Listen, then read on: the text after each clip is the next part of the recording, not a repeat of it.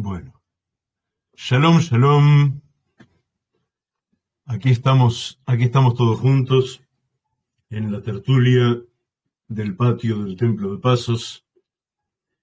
Eh, primero, para empezar, como notaréis, gracias a Dios, hemos mejorado la iluminación y la imagen y creo que hasta el audio.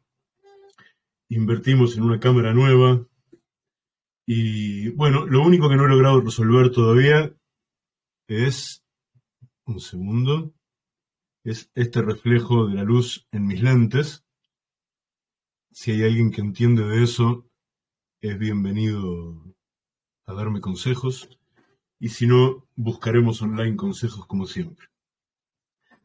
Eh, en los últimos días, en un grupo nuevo que tenemos en, la constelación del Templo de Pasos, que se llama Torrente de Links, Torrente de Links entre el Templo de Pasos, al que están todos invitados.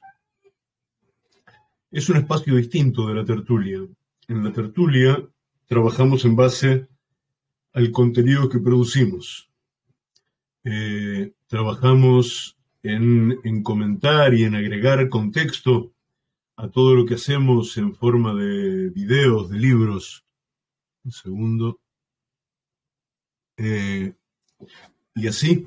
Y de ese modo, al igual que en todo el resto de, los espacios que de alguna manera administro, manejo en las distintas plataformas, en general eh, mostramos contenido que producimos nosotros mismos. Pero a veces eh, queremos compartir cosas que encontramos por ahí. Entonces, para eso eh, tenemos, por ejemplo, para cosas muy especiales, la biblioteca pública del Templo de Pasos. Y ahora, para esos links que uno quiere compartir a veces en familia, en comunidad, que, pueden ser eh, desde cuestiones filosóficas a, narrativas, a música, a lo que sea, que, que que de todos modos eh, entra, entra en el marco del camino que recorremos juntos. Bueno, para eso creamos el torrente de links. Y entonces en el torrente de links, un, un compañero posteó, un tertuliano, posteó un video de un curso que da o que dio Albert Goslan del canal Kabbalah Mashiach en YouTube, a partir de un libro de Rabbi Yosef Yikitilia, uno de los discípulos y continuadores de la Kabbalah de Rabbi Abraham Abulafia, una clase, un curso, e incluso en ese canal y quien lo imparte, que, que tienen un enfoque, eh, un enfoque de la Kabbalah un enfoque de, la tarea de enseñar, de la vocación de enseñar, con el que, por decirlo de, de un modo lo más preciso posible, no consiento. No siento con.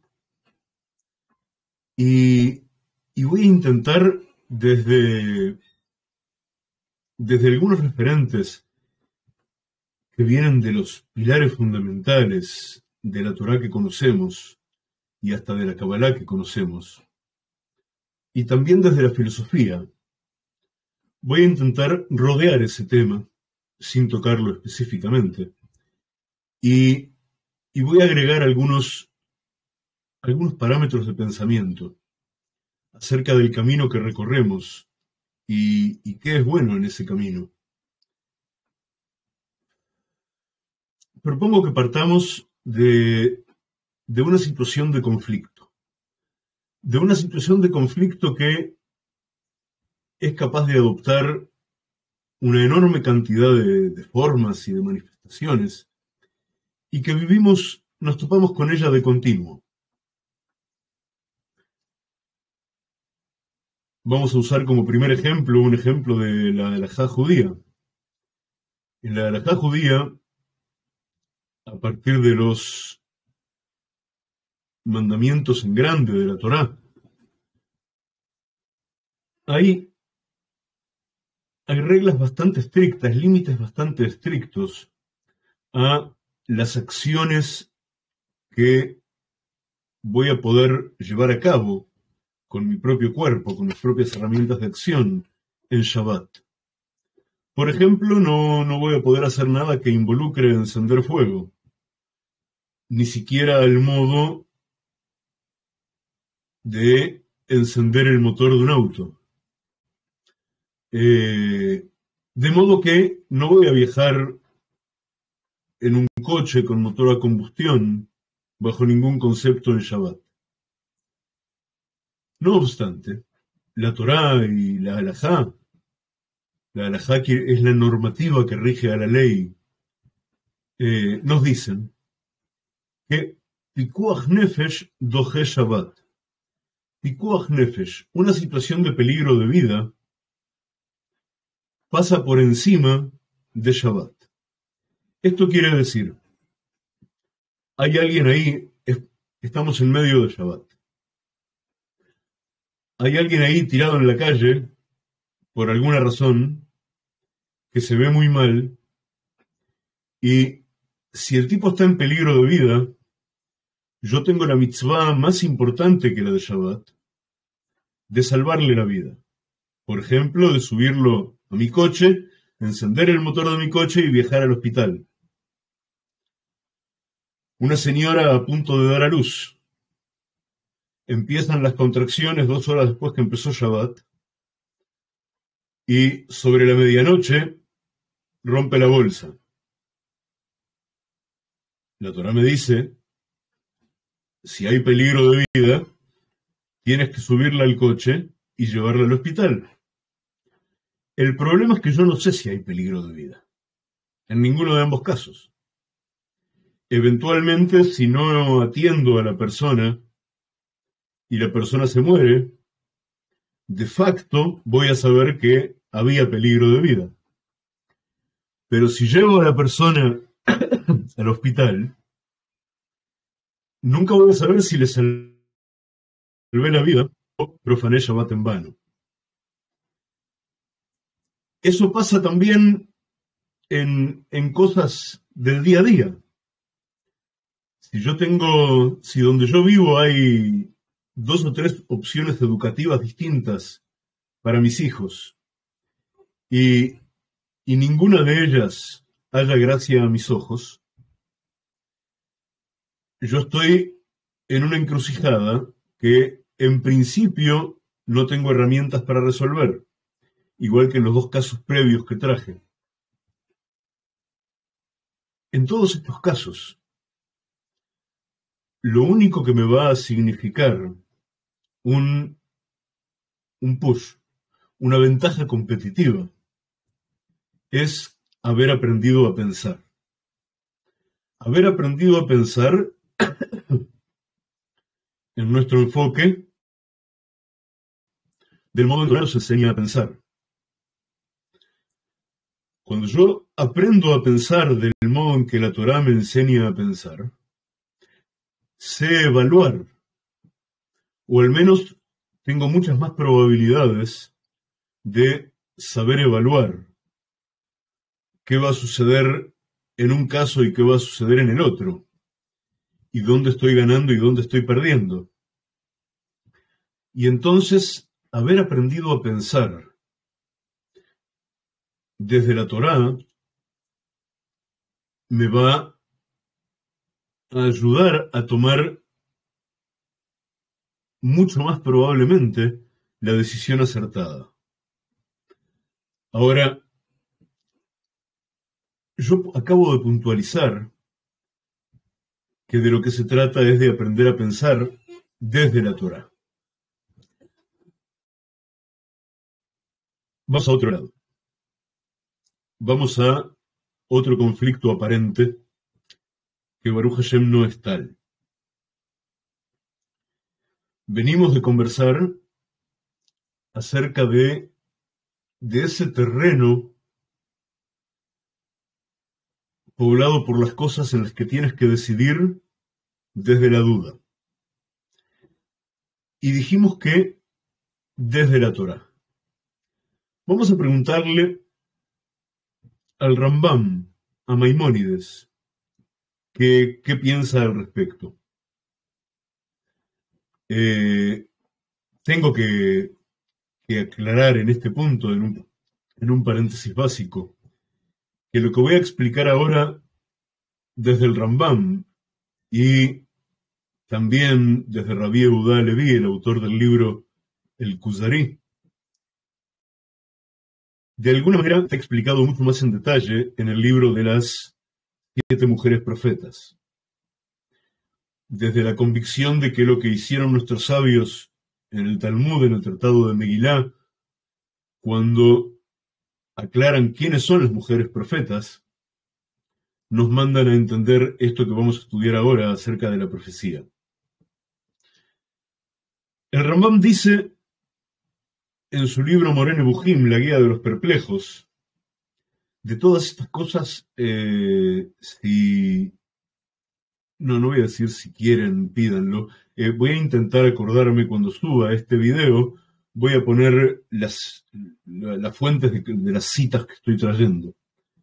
Eh, el Rambam en Morene Bujim asume que todos los hombres que descendemos de Adán, del primer hombre, somos creados igual que Adán, con Zelem Elohim. Y, explicamos, dedicamos a eso un largo capítulo en Esabiel, a explicar qué es el Zelem Elohim. Y, y dijimos que Tselem lo podemos traducir como semblanza, como impronta. Pero podemos ir un poco más profundo que eso. O sea, la palabra tselem en sí misma, si no hablo específicamente del tselem divino que pone en el hombre, la palabra tselem tiene dos acepciones. Eh, la primera es la raíz del moderno verbo letzalem, que es fotografiar. Cuando yo fotografío algo, hago un tselem de ese algo.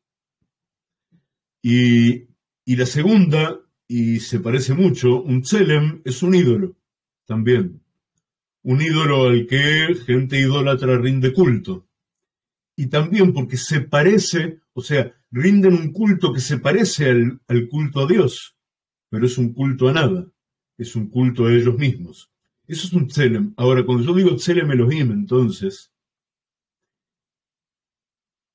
Estoy diciendo aquello que me hace parecido a Dios. El tselem de algo es lo que hace que algo sea específicamente ese algo. Vamos otro paso más allá. Yo estoy sentado en una silla. Ahí, atrás, tengo dos sillas más. Y ahí tengo un sillón que forma parte de la familia de las sillas. Esas dos sillas que tengo ahí son completamente distintas de esta silla en la que estoy sentado. No tienen posabrazos, no, no son mullidas, no se pueden subir y bajar y tampoco tienen ruedas. Y el sillón que tengo ahí tampoco tiene ruedas ni se puede subir y bajar, pero tiene una contextura distinta que hace que todos se llamen igual. Todos son sillas.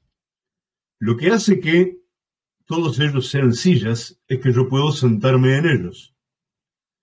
Y tienen un respaldo, porque si no serían bancos o taburetes. Entonces tengo donde apoyar la espalda. Y toda cosa que cumple con esa regla tiene el tselem de silla.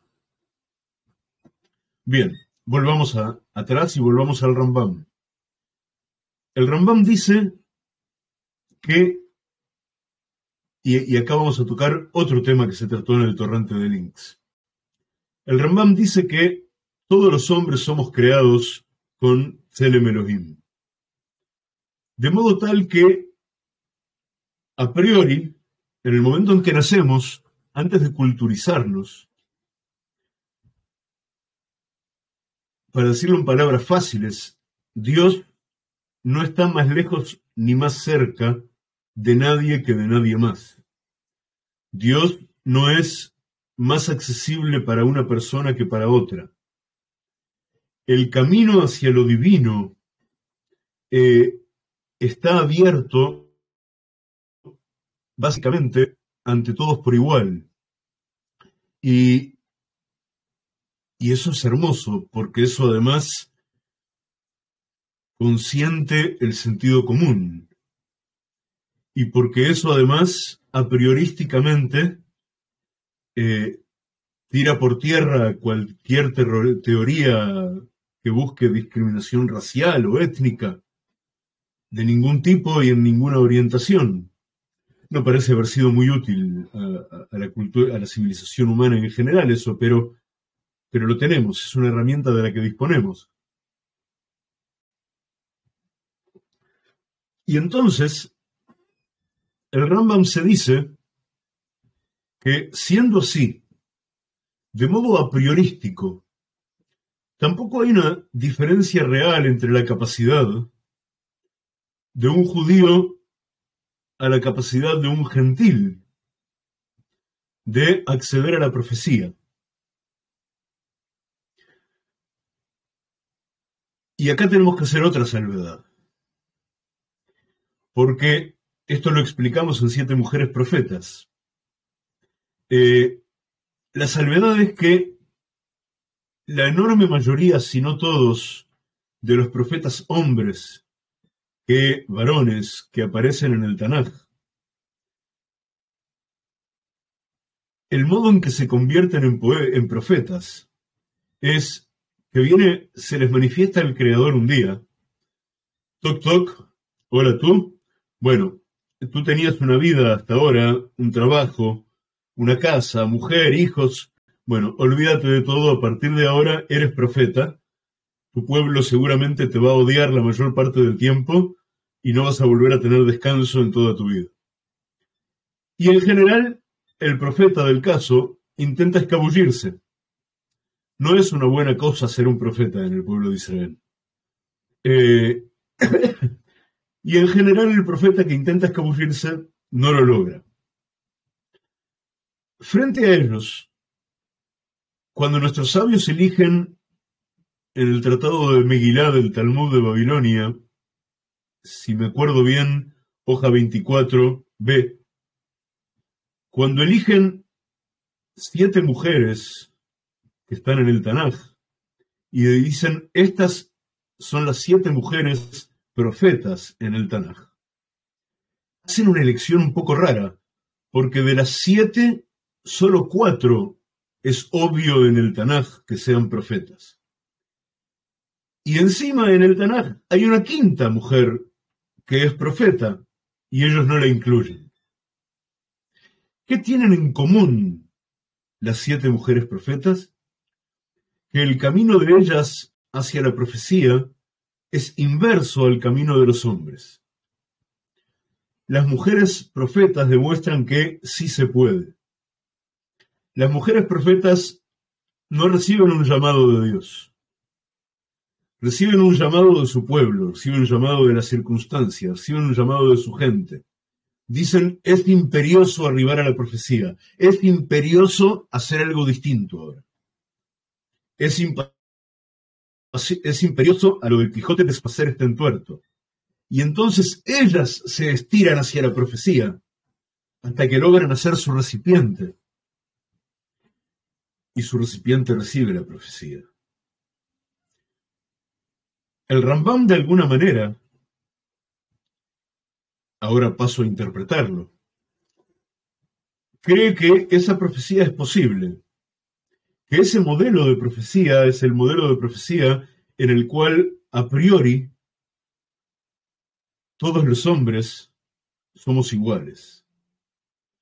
Y todo depende del camino que sigamos a donde arribemos. Hago una digresión.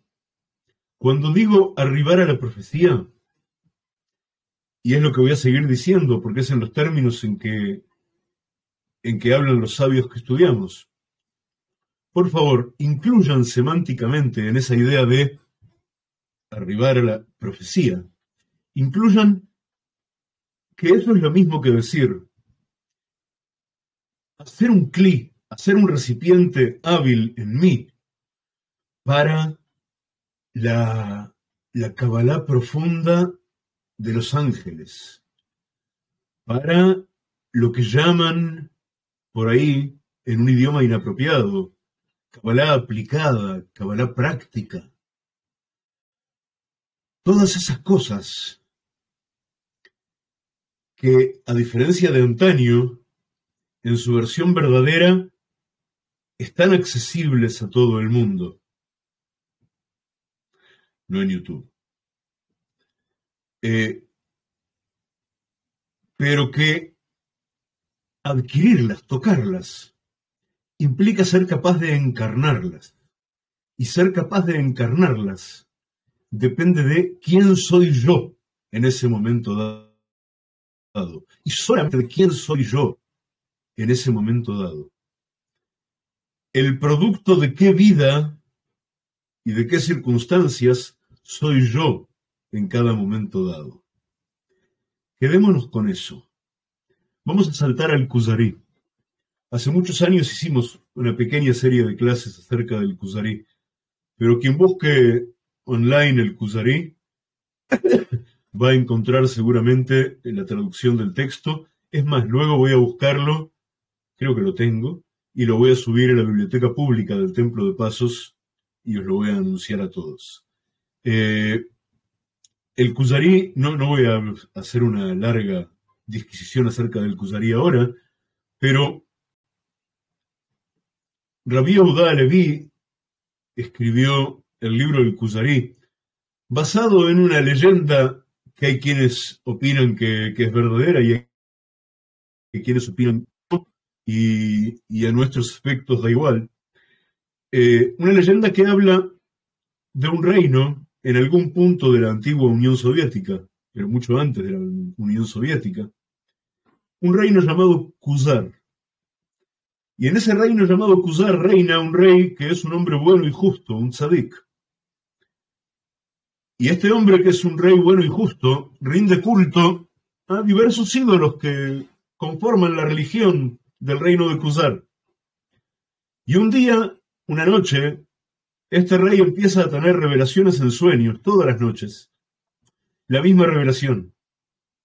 Una voz celestial que le dice, tus intenciones son buenas, pero tus actos no lo son. Y así noche tras noche.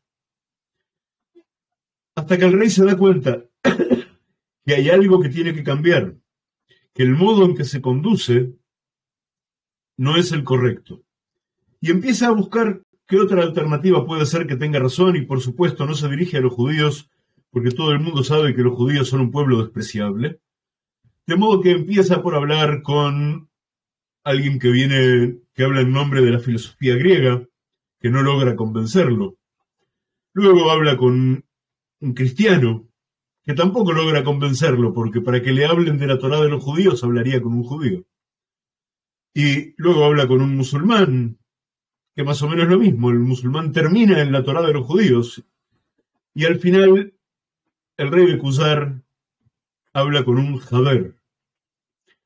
Un Jaber, en hebreo, es un amigo. Pero acá está usado del mismo modo que se usa, por ejemplo, en el Zohar. Jaber es un integrante de la Jaburá, un integrante de la cofradía.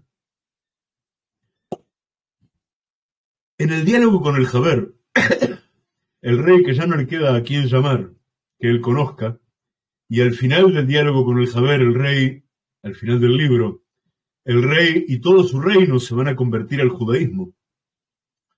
Eh, y hay quienes dicen que buena parte de los judíos que nací desde hoy venimos del antiguo reino de Kuzar. A lo largo de este diálogo, en un punto, requerido por el rey, el Jaber le explica al rey que la creación está ordenada de modo piramidal, tal que abajo del todo de la pirámide está el reino de lo silente, lo domem en hebreo, que es el reino mineral. Sobre el reino mineral está el tzomeach, que crece, por consiguiente es el vegetal, que es vegetativo. Luego está el de aquellas criaturas que además de crecer también se mueven y tienen modos de, expresión más sofisticados.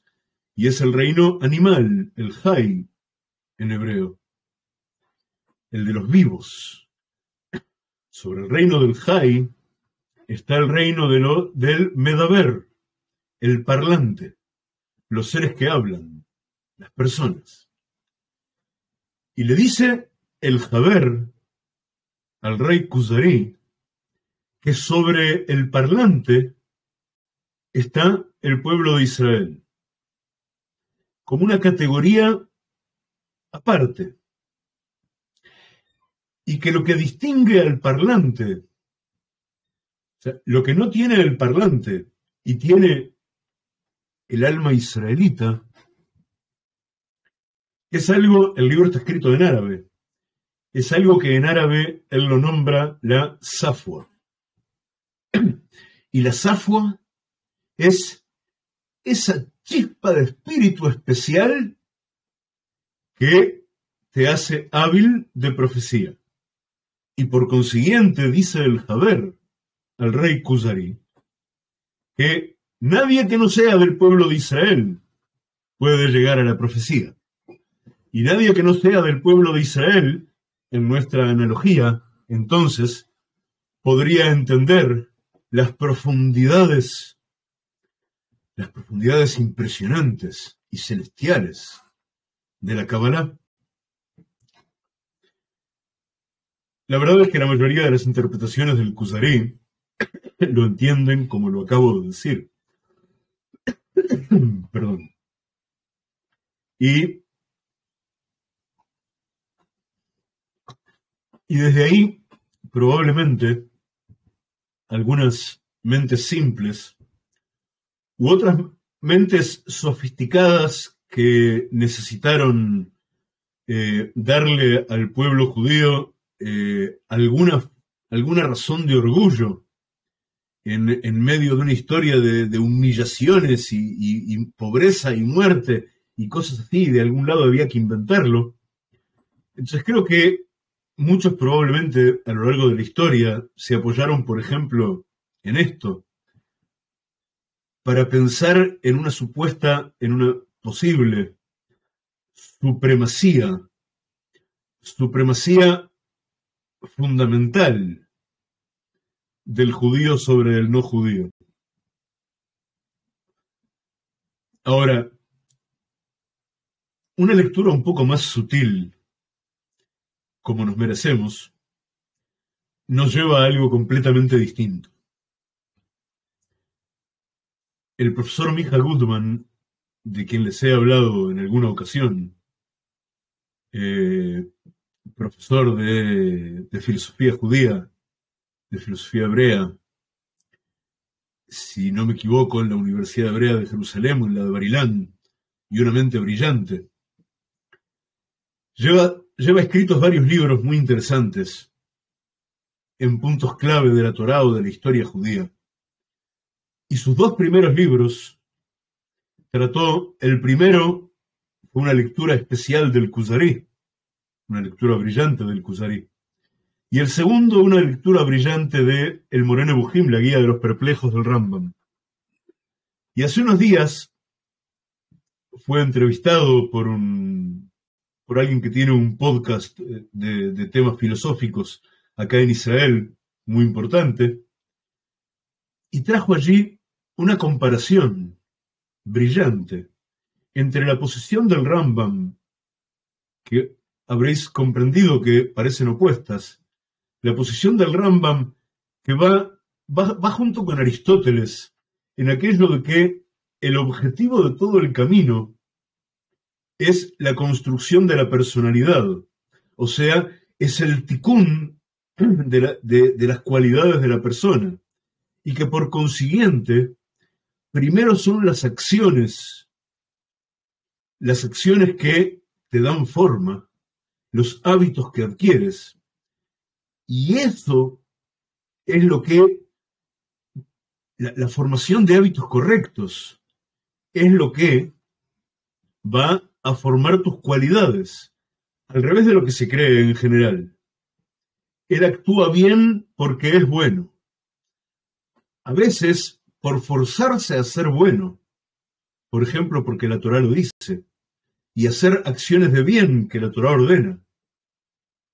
Él está haciendo esas acciones y recibiendo la resonancia que esas acciones producen, convierte en bueno el corazón de la persona. Volvamos a donde estábamos, ya vamos a llegar ahí. El Rambam dijimos que dice que a priori de todo lo demás, cualquiera podría llegar a ser profeta sin importar de qué pueblo, de qué etnia viene. El Jaber, no Rabí Judá Leví, sino su personaje Jaber, en su libro El Kuzarí, le dice al rey de Kuzar que no hay ningún modo de que alguien que no es hebreo, judío, pueda llegar a la Nebuá. Y sobre esto, el profesor Mija Guzmán observa las siguientes cosas. La primera es que llamaría la atención porque en otros contextos queda claro que Rabí Leví no piensa así, con esa contundencia. Y acá lo está poniendo en boca de uno, un personaje suyo en tiempos de Rabí Udá Leví había otras fuentes que, que sí pensaban así. Y entonces dice Mija Guzmán, fíjate qué interesante.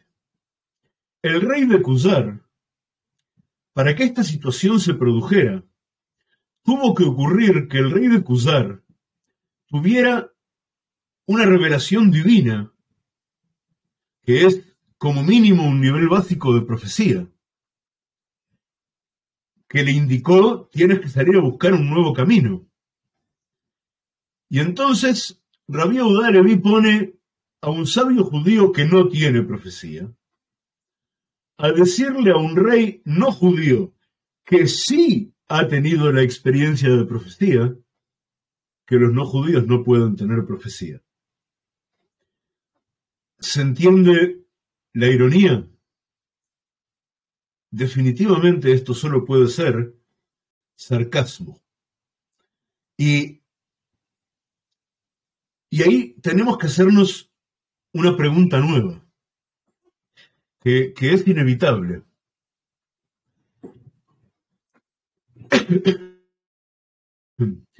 Cuando ni siquiera vamos a omitir la pregunta, vamos a ir directo a la respuesta.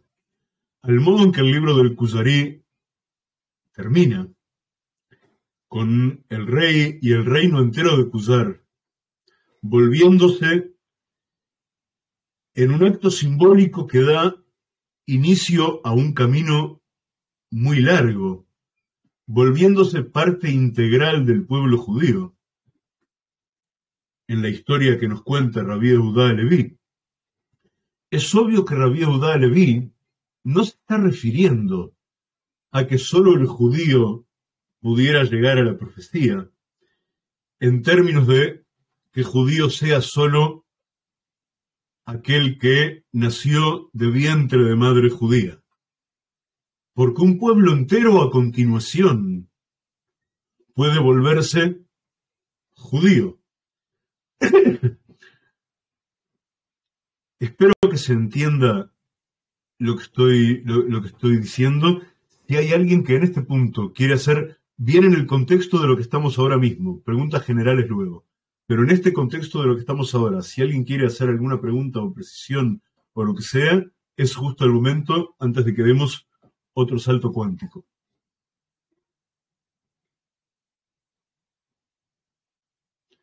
Caramba, ¿estarán realmente ahí? Eh, continúo entonces. Fijaos bien. Nombramos a Aristóteles hace unos momentos. Acá, gracias a Dios, lo que tengo es el iPad. Miren, mejor que el iPad. Vamos a hacer algo lindo. Eh, a ver, un segundo.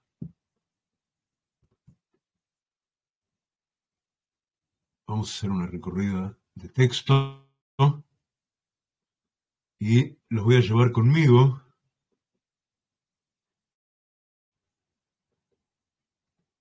Muy bien.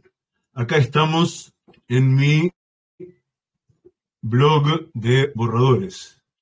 Este, este es un blog como para, como para volverse uno loco. Este, tiene borradores míos de como 20 años. Y acá me puse algunas citas para compartir con ustedes eh, eh, en lo que estamos conversando. Porque fijaos, hace unos minutos estábamos con Aristóteles diciéndonos que el modo de vida, las acciones del hombre, engendran en él las cualidades que cuando el Rambam de alguna manera lo va a hacer en Morene Bujim, lo explica diciendo que en esas cualidades que se engendran en el hombre a partir de un modo de vida bueno, justo, es donde el hombre puede revelar Tselem Elohim. Ahora, todo empieza entonces en la acción. Vayamos a la, a la, fuente cercana más, más, original que tenemos, que tenemos a mano, y esa fuente cercana está, un segundito, acá.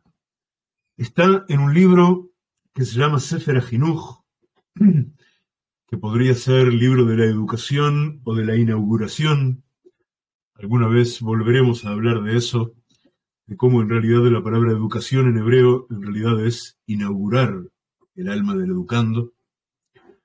Eh, el Sefer Ajinuj no, eh, hay, distintas ideas acerca de quién es su autor. Eh, con la mayor probabilidad fue Rabbeinu Bajiyei ibn Pakuda, un sabio maravilloso que escribió otros libros fundamentales. En Sefer Ajinuj, Rabbeinu Bajiyei lo que hace es enumerar, hacer una enumeración de las 613 mitzvot, preceptos de la Torá, y explicar cada una desde varios puntos de vista distintos, de modo muy interesante. En su inciso 16, el Sefer Jinuj dice así. Leo y traduzco. Da ki ha'adam nif'al kefi peulotav. Sabe que el hombre es hecho activado e influenciado de modo simétrico a sus acciones. O sea, lo que va bien. Y lo que va bien especialmente en el mundo de la acción, que es el nuestro. tamid Y su corazón, o sea, sus sentimientos, y todos sus pensamientos también siguen, van detrás de las acciones que hace. Ve imra, sea para bien, sea para mal. Beafilu rashagamur bilbabo, e incluso alguien que es en su corazón un malvado extremo. Y todo el instinto de los pensamientos de su corazón es solo mal todo el día. Y mi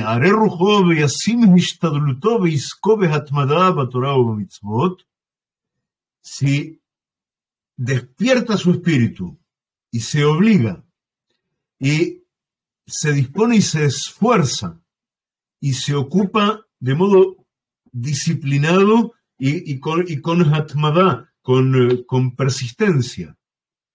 O día, otro día, otro día, sin cesar, en el estudio y la comprensión de la Torá y en la acción de las mitzvot, y aun cuando no sea por, por amor a Dios o por hacer caso a Dios, sino solamente por convertirse en alguien mejor de quien es, o por cualquier otra razón, pero hace las acciones que la Torah le demanda hacer, miad inte el hatov.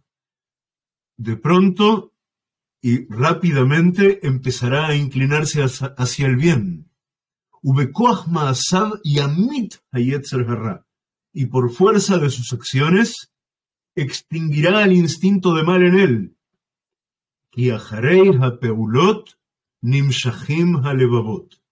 Porque detrás de las acciones son atraídos los corazones. Así nos dice el Sefer Ajinuj.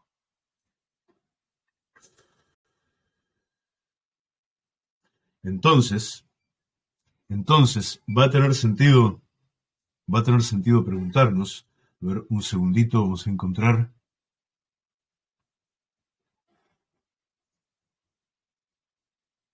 Antes de que tenga sentido encontrarnos con el siguiente. Hasta aquí entendemos que en el mundo de la acción, y, y así lo entiende Aristóteles y también Sócrates, y así lo entienden de los sabios más grandes de Israel, el modo de construir tu personalidad, el modo de hacer tu ticún, la enmienda que viniste a hacer en este mundo. El modo de parecerte lo más posible a tu Creador, revelando de dentro de ti el Tselem Elohim, es la acción de mitzvot, la acción de preceptos. La acción de preceptos que me manda ayudar al prójimo, si él lo necesita, la acción de preceptos que me mandan hacer justicia, la acción de precepto que, que va incluso al pensamiento, porque la Torah dice explícitamente, por ejemplo, y es una mitzvah, lotisna bilbabeja, no odiarás a tu hermano en tu corazón. La acción de mitzvot. Tomar las mitzvot que son conceptos y ponerlas en la timeline, en la línea de tiempo de mi vida real, eso es la esencia de mi tikkun. Y, y como me enseñó el Rambam hace un rato, y, también Aristóteles. Así es como forjo mi personalidad y así es como voy a forjar mis cualidades. Ahora fíjate, entonces, porque sin duda, tanto el Rambam como el Rabí y yo también, los viernes de noche, cuando Elevo en mis manos mi copa de Kiddush y bendigo a Hashem. Dentro de esa bendición, lo bendigo.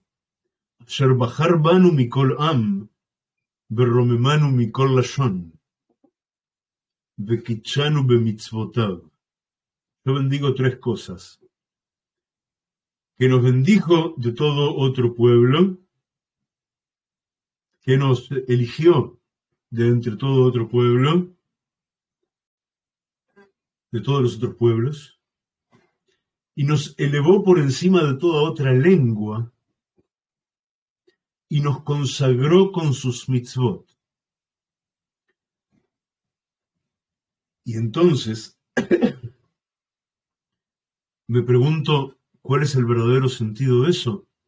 ¿Cuál es esa elección ahora que el final del Kuzari me dijo que aún si creyera, aún si creo, y, y lo creo, que hace falta ser de ese Israel fundamental para recibir profecía verdadera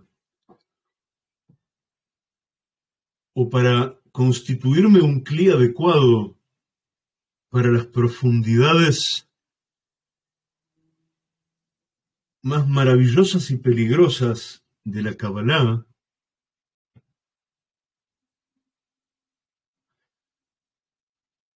ahora que yo sé que cualquiera puede convertirse en eso,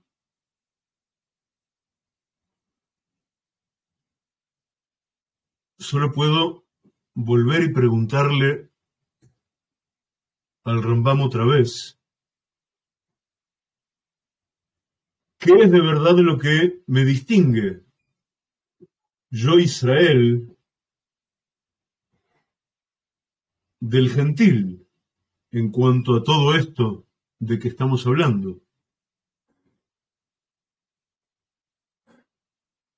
Y entonces dije, bendito Hashem, que nos bendijiste de entre todos los pueblos, nos elegiste de entre todos los pueblos.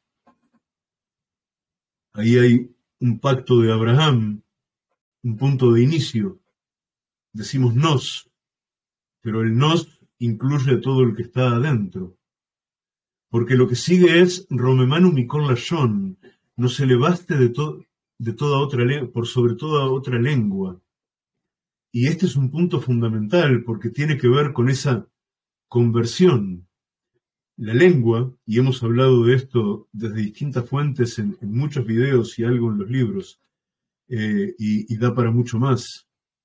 La lengua define todo en la cultura de un pueblo. La lengua, tu lengua madre, define cómo tú piensas las cosas. Si, si tu lengua madre es el inglés, tú a la luz le llamas light, que también quiere decir liviano. Y, y si tu lengua madre es una lengua latina o es el latín, a la luz le llamas lux, que también es la mamá del lujo. Lux en lo resplandeciente, lo majestuoso, lo que invoca reverencia. Y, si tu lengua madre es el hebreo, entonces luz es or, y, or es básicamente energía, y, y, se remite a lo sagrado. ¿Te das cuenta? Y, si en inglés entonces lo pesado es heavy, y heavy sale de heaven, que heaven es el firmamento. Como que la palabra heavy, lo pesado en, inglés, eh, eh, es en sí mismo, implica en sí mismo el desafío a elevarlo, a levantarlo. Eh, en cambio, lo, pesado en hebreo es kabed, que también es el nombre del hígado, que es el órgano con mayor peso específico en el cuerpo humano, y es la raíz del kabod, del honor, de la reverencia, no importa, está, están dados los ejemplos. Eh, Romemanu Mikon Lashon, no se le baste de toda lengua. Lo que me dice solamente es que el hebreo de la Torá es el lenguaje connatural al acto de la creación, al, algoritmo que, que ejecuta la creación en su renovación de continuo ese algoritmo está escrito en hebreo. Y en el momento entonces en que yo me hago cli, recipiente, por ejemplo, de las profundidades del hebreo, te voy a decir un secreto. Si yo me hago un cli de verdad a las profundidades del idioma hebreo, ya estoy adentro de la Kabbalah profunda. Y el resto es un camino de iniciación que va a venir hacia mí. Y todo empieza en la lengua, y por eso lo bendecimos así, pero no termina en la lengua. Porque yo para poder ser ese Israel perfecto, ese Israel 100%, ese hombre que se parece todo lo que un hombre puede parecerse a Dios, porque es todo lo hombre que es posible ser hombre, el mejor sentido y más completo de la palabra, necesito también la tercera etapa, de Kichanu mitzvotav, y nos consagraste con tus mitzvot. Y ahí estamos todos los hombres, porque quien no ha decidido un salto para convertirse en judío eh, oficialmente, eh, ante un tribunal y entonces integrarse ya no solo al pacto de la Torá, sino también a una nación, que es completamente otra historia. Todo hombre es descendiente de Noah, toda persona es descendiente de Noah, de Noé, de modo que las siete mitzvot, preceptos fundamentales de la Torá, todos los hombres que existen y que existieron alguna vez sobre la tierra, hemos sido consagrados con ellas. Hablamos de eso en nuestro libro Siete señales de tránsito divino para tu vida y tu mundo.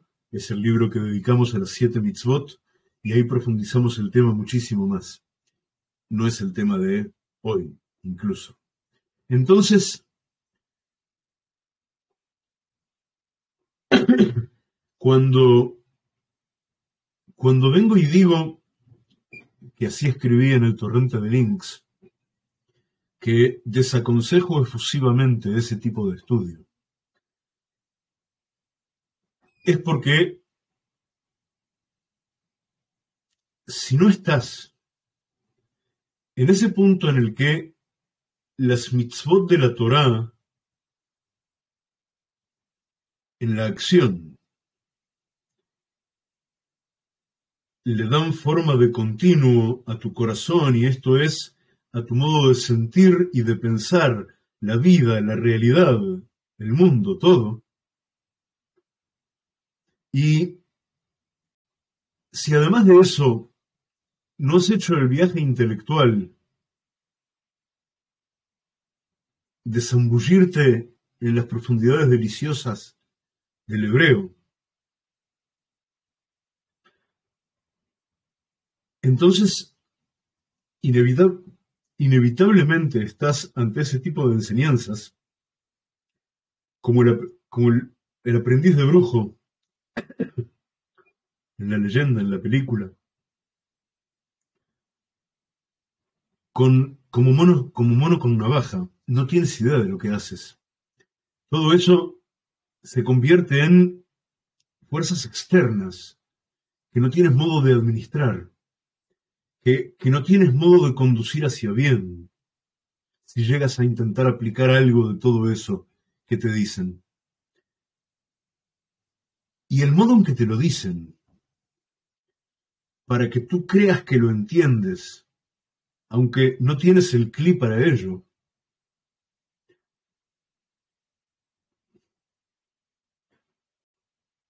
se, se convierte en demagógico y de alguna manera denuncia que quien te lo está transmitiendo, ¿acaso tampoco tiene el cli para constituirse esa Torah que te está brindando? Enseñar Kabbalah de verdad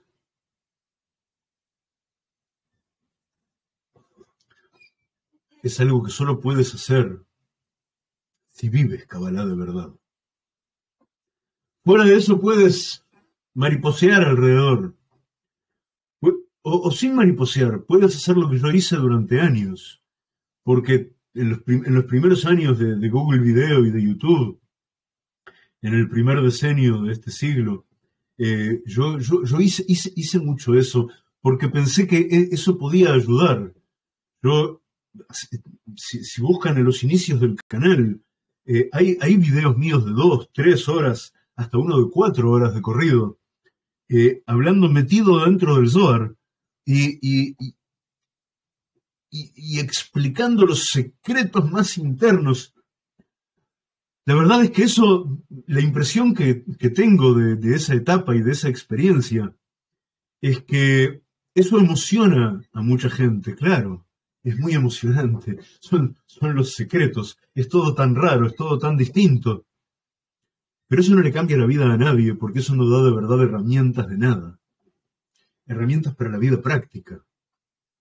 Y herramientas para la vida práctica es aprender a pensar desde el estudio y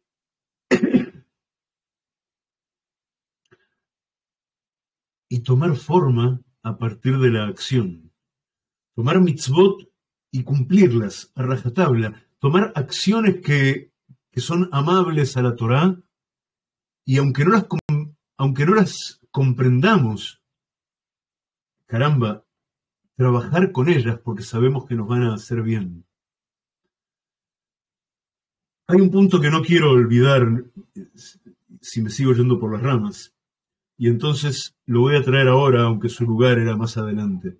Y, estamos llegando al final, de todos modos. No se asusten. No sé ni cuánta gente somos en este momento, pero Bezrat Hashem, muchos tendrán la oportunidad de ver esto grabado después también. La pregunta, Rambam querido, si entonces no es el nacimiento, ¿qué es lo que distingue a eso que llamo Israel del resto de la humanidad? Y Rambam me va a decir muy claramente, es la Torá. La diferencia es cultural.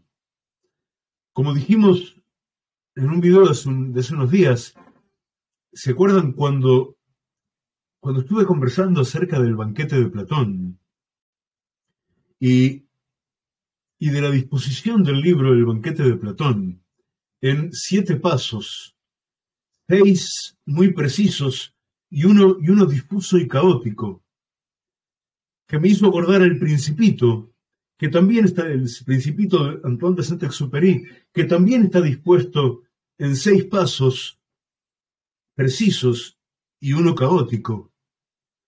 Y, y en ambos casos, en el Principito y en el banquete, tuve un diálogo, en algún punto voy a corregir ese diálogo y lo voy a aumentar, tuve un diálogo con ChatGPT al respecto de la comparación entre ambas obras para esto. Eh, en ambos casos, yo puedo, desde, desde mi vida de estudio y de vivir Kabbalah, puedo muy claramente identificar que los siete pasos están bellamente ordenados como las siete sefirot inferiores, Gesed, Gurat, Tiferet, Netzach, Hod, Yesod y Malhut. Y entonces la pregunta era, ¿qué? ¿Acaso Sócrates o Platón sabía Kabbalah? ¿Antoine de Saint-Exupéry sabía Kabbalah? Y yo contesté que eh, puede ser, pero es harto improbable y no hace falta que supieran Kabbalah. Porque cuando tú trabajas tu alma, desde la práctica de cosas que, nacen de buenas cualidades. Cuando tú asumes buenas actitudes que se traducen en buenas acciones, todo eso va obrando en ti el ticún que viniste a hacer a este mundo. Va, puliendo tu cli, tu recipiente de luz, hasta que tu recipiente es capaz de percibir cosas más y más altas, más y más íntimas, más y más profundas, más y más y más adentro. Y eso se parece muchísimo a esa idea de el Israel que puedes devenir. Entonces, entonces es fácil entender que hay ciertos niveles de percepción que, claro, es, es el alma tomando forma de las acciones del hombre. Y entonces lo más importante de todo, muchísimo más que aprender Kabbalah, es ser un hombre bueno. Muchísimo más que cumplir las mitzvot que tienen que, que tienen que ver con la relación entre el hombre y su Dios. Antes que nada son las mitzvot que tienen que ver con la relación entre el hombre y sí mismo, el hombre y su prójimo, el hombre y su mundo. en este punto alguien quiere interrumpir o contar algo, es, es, un buen momento eventualmente.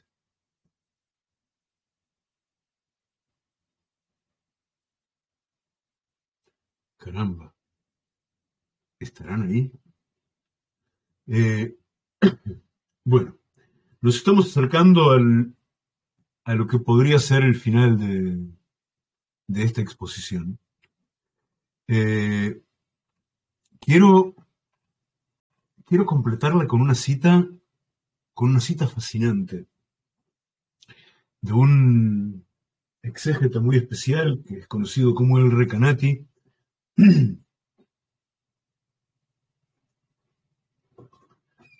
El Recanati, en su comentario a la Torá, y específicamente en su comentario a la Parashaba Yehi, hoja 37.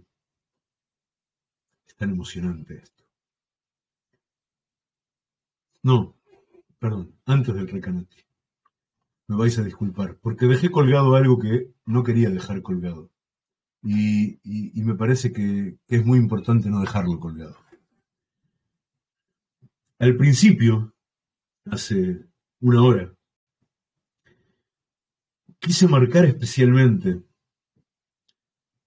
esta posición que, que no es una idea muy popular hoy día, de que las acciones atraen a los corazones, en términos de que mis acciones van a llevar a mi corazón a sentir las cosas de determinado modo sea por la vibración de resonancia, porque si yo le hago bien a alguien, ese alguien me sonríe y me agradece, se va a emocionar a mi corazón. Y así sucesivamente. El bien que sale de mí vuelve a mí, vaya cosa elemental. Pero menos elemental y muy importante es que cuando vuelve a mí, va más adentro, va a darme forma va a darme forma hábil de revelar lo divino que hay en mí. Ahora, ¿y entonces qué hacemos con aquello de qué? Lo más importante es estudiar, porque el estudio da forma a nuestro pensamiento. Estamos en un juego de espejos, está claro, ¿verdad? Dijimos que la acción es lo fundamental al tiempo que hay que aprender a pensar. Y, esas dos cosas conforman un juego de espejos, cosas que vibran entre sí. Ahora, ¿por qué es la acción lo que está primero?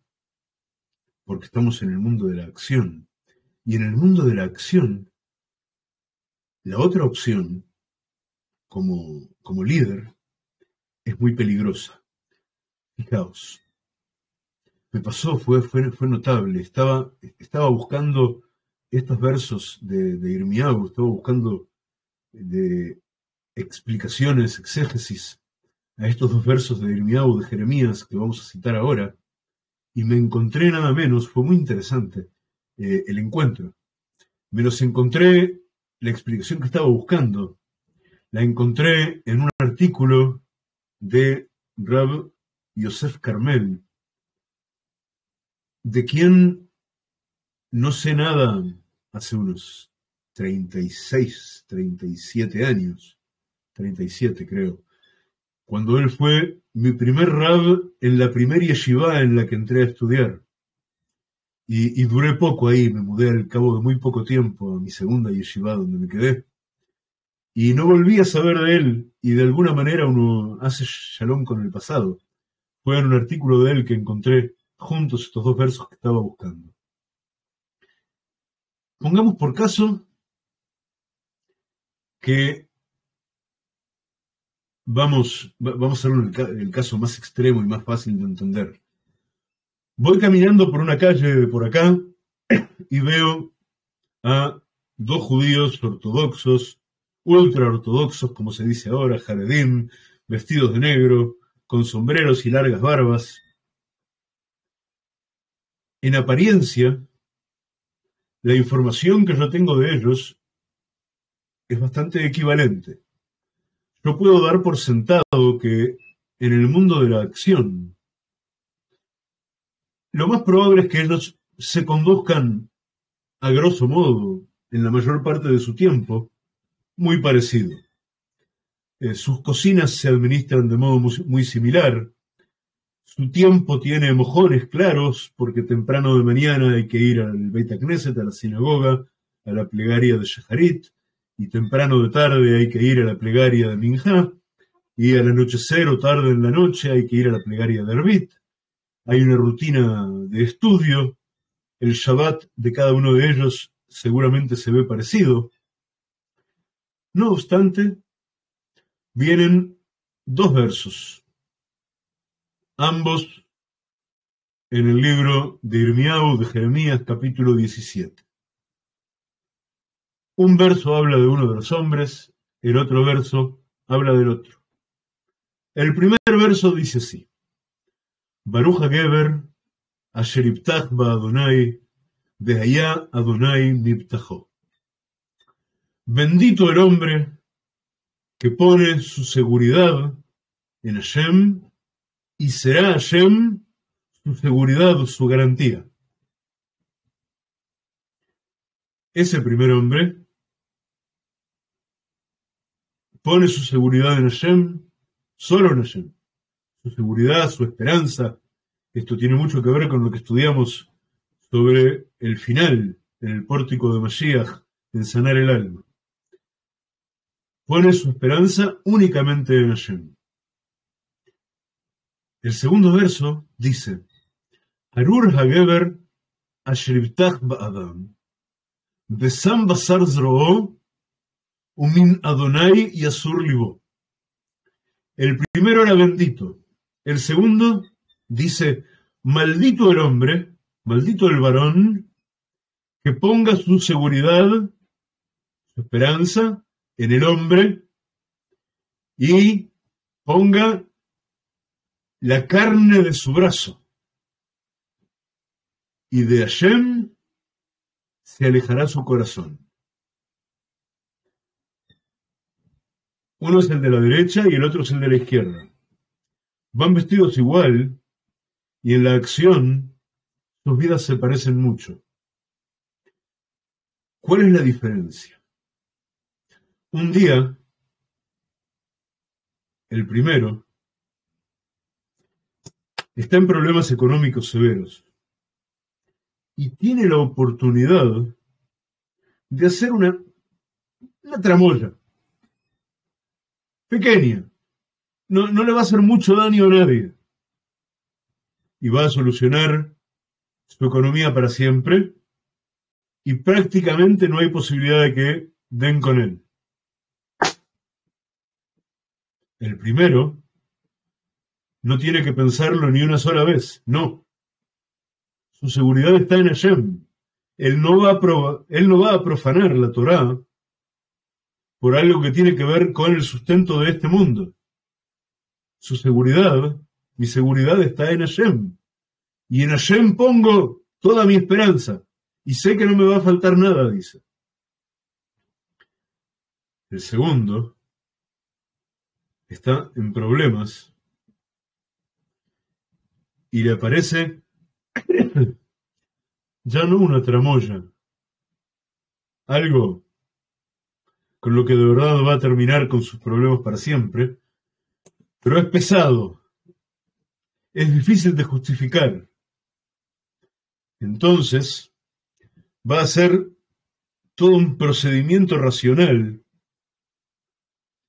y va a sacar distintos tomos de la Gemara y va a sacar cosas de contexto de acá y de allá y va a respaldar esta decisión con esto y esta interpretación con esto hasta que logre sacar una conclusión que sea en realidad lo contrario de la verdad. Y entonces va a cometer la acción, maldito el hombre que confía en el hombre, que ponga su seguridad en el hombre y ponga su carne, su brazo, se lleve a la acción. Y entonces, lo que va a ocurrir es el final del verso. Me Hashem Yasur Libó de Hashem, de Hashem se va a aislar su corazón, que de Hashem se va a aislar su corazón. Está puesto al final del verso, pero sostiene a todo el verso. En las acciones, ambos son iguales. Pero aquel que no deja que las acciones le den forma, aquel que deja que sus pensamientos se vayan a otro lado, aquel que además de que las acciones le den forma, no se asegura de estar en Torah, pero la Torah que le enseña a pensar, no la Torah que le hace creer que él puede conjurar un ángel, la Torah que le enseña a pensar y que por consiguiente le va a permitir decidir sabiamente en esas encrucijadas de duda que vimos al principio de todo.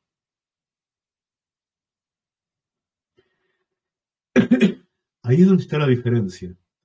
Si yo, si yo quiero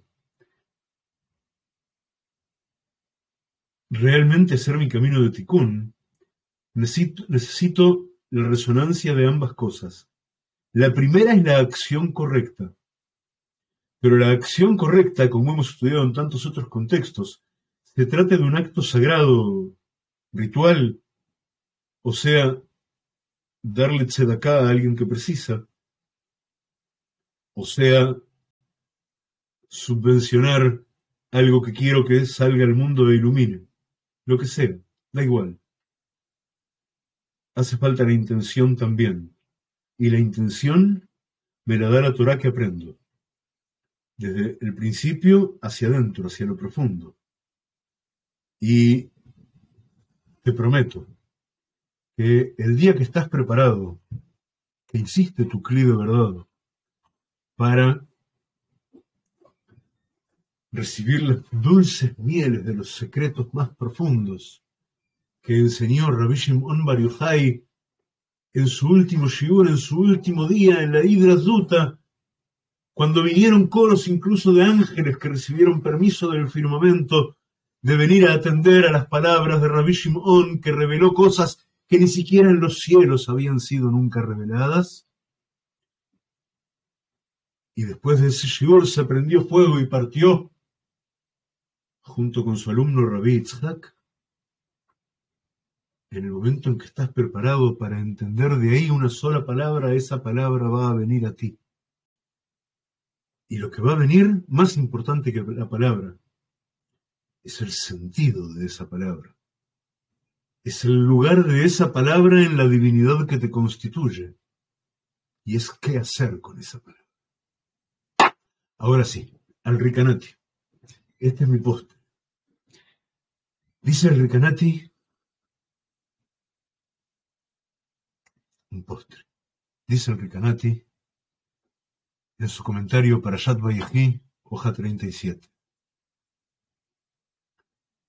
Porque cuando estaban, cuando los Hasidim antiguos, Beanshei Maaseh y hombres de acción, está hablando a los antiguos sabios iniciáticos de verdad, que eran Hasidim que practicaban el Gesed todo el tiempo y eran Anshei Maaseh, hombres de acción, porque practicaban la Kabbalah en sus vidas de verdad y, la vivían. Y hacían cosas con eso porque lo vivían. Cuando se unían en soledad, en aislamiento, Beoskim Basodot Elionim, y se ocupaban en los secretos superiores. Atención. Medamim bekoach tziur machshebotam. Ellos imaginaban con la fuerza de la potencia de dibujo de sus pensamientos. Kaeilu hadvarim hahem, como esas mismas cosas que estudiaban de los secretos superiores. Y entonces las imaginaban, las veían con la facultad de dibujar cosas en el pensamiento, las veían como grabadas ante ellos. Hakukim lifnehem. koshrim nafsham banefesh ha'elioná. Y entonces, cuando ellos enlazaban su nefesh con el nefesh superior, Ayu Hadvarim, esas cosas que estaban en los secretos superiores que ellos estudiaban y que ellos veían con la potencia de dibujar de sus pensamientos como grabados ante ellos, cuando se conectaban con su nefesh, el nefesh superior, cuando conectaban lo divino en que soy con lo divino que hay en mí, esas cosas empezaban y se multiplicaban, mitrabim un mitbarjim, y eran bendecidas, un mitgalim elehen, y se revelaban por sí mismas, meafisat hamachshavá, desde el cero del pensamiento, o sea, desde el pensamiento que es inasible y que no es sensible, las cosas venían a lo sensible por sí mismas. Que Adam Hapoteach Breihat Maim, como un hombre que abre un depósito de agua, un mitpasetet, eilach de eilach, y el agua fluye y se expande más y más y Hamachshava Hadveka, porque el pensamiento apegado, apegado al pensamiento divino, y Hamakor, Vehabriha Vehamabua, Asherloi Pasek, es la fuente y el manantial que no, que no se frenará.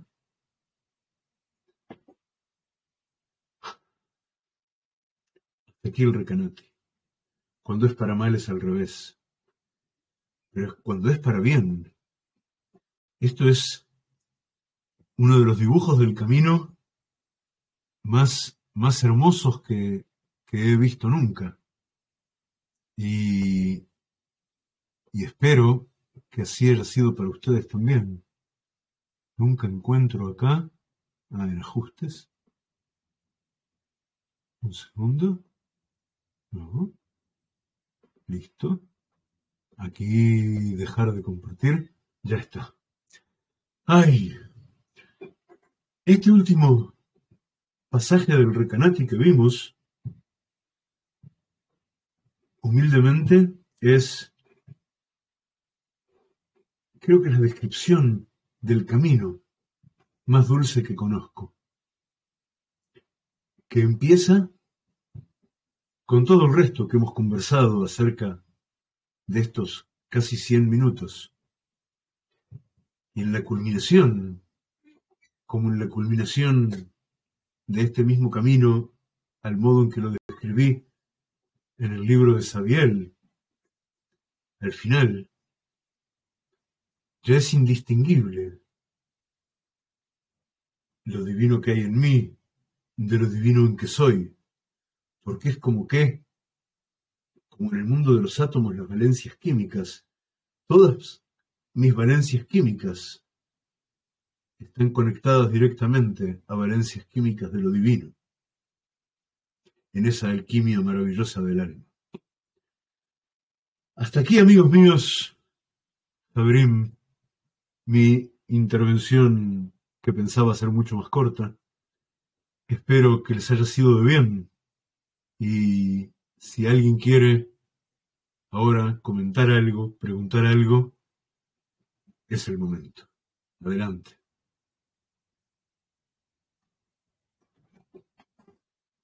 A ver, para el postre. Bueno, siendo que no, ha sido un honor compartir esto juntos, amigos que podamos compartir muchos de estos. Les voy a dejar abajo, voy a volver ahora a la postre, fueron muchas más citas de lo que pensaba, pero voy a intentar dejarles las citas.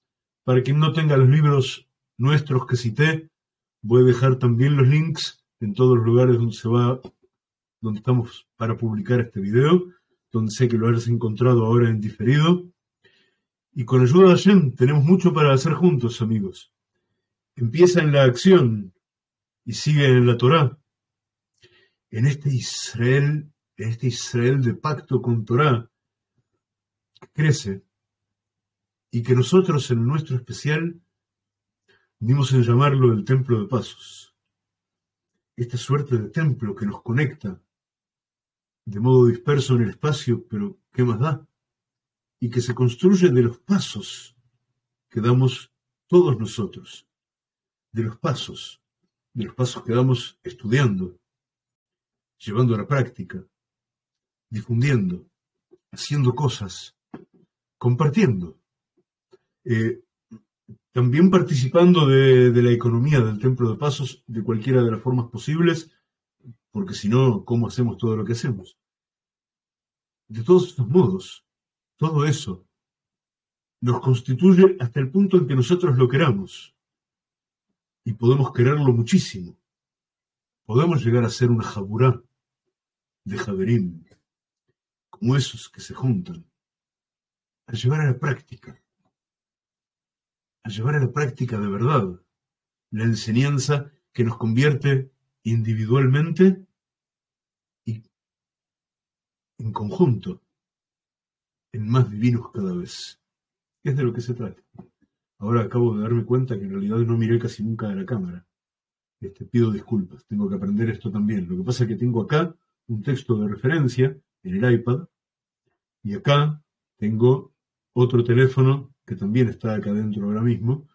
Este, qué raro que no lo veo, pero bueno, pero está acá adentro ahora mismo. Y es de donde escucho si alguien de ustedes me habla para que no acople la computadora. Este, y así. Bueno, amigos queridos, mi braja con todos ustedes. Seguimos juntos en la tertulia del Templo de Pasos, en Telegram. Espero vuestros comentarios y seguimos conversando y creciendo juntos. Shalom, shalom, mi braja para todos. Shalom, shalom, gracias, Rabino. Shalom, shalom. Shalom.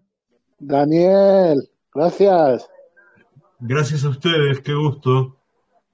Shalom, shalom.